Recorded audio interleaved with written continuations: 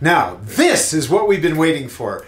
I have Guatemala from Huehuetenango, and we're gonna drink some because my name is Seth Appell, your personal coffee roaster, and this is it. Yeah, let's drink some.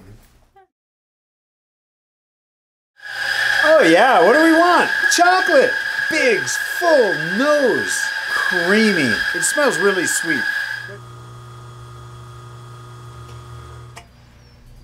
The aroma is like chocolate truffles. It's big, round, and milky. Thick and creamy. I gotta say, it's kind of like drinking a chocolate bar, like hot chocolate. Deep, dark, complex. It's smooth. I get a little brightness in the palate. It is all, all over my mouth. Man, there's just a, a hint of smokiness in the finish. It really is good. And I'm really glad you stopped by. I'll see you next week. I love you guys.